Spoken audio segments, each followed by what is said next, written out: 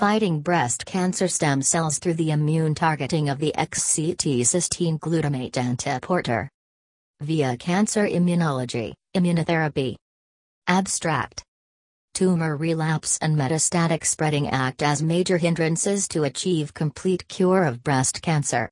Evidence suggests that cancer stem cells, CSC, would function as a reservoir for the local and distant recurrence of the disease, due to their resistance to radio and chemotherapy and their ability to regenerate the tumor.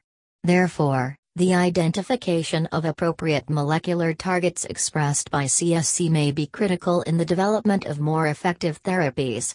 Our studies focused on the identification of mammary CSC antigens and on the development of CSC targeting vaccines.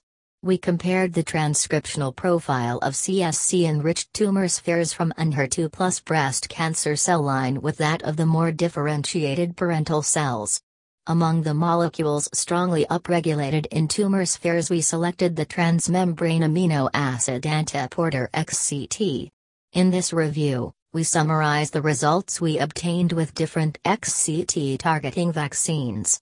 We show that, Despite XCT being a self-antigen, vaccination was able to induce a humoral immune response that delayed primary tumor growth and strongly impaired pulmonary metastasis formation in mice challenged with tumor sphere-derived cells. Moreover, immunotargeting of XCT was able to increase CSC chemosensitivity to doxorubicin, suggesting that it may act as an adjuvant to chemotherapy.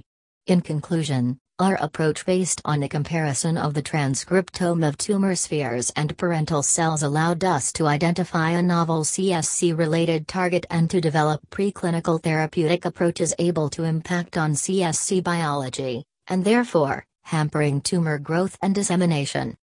Ad tags, currently, Cancer, Medicine by Alexandros G. Sfakianakis,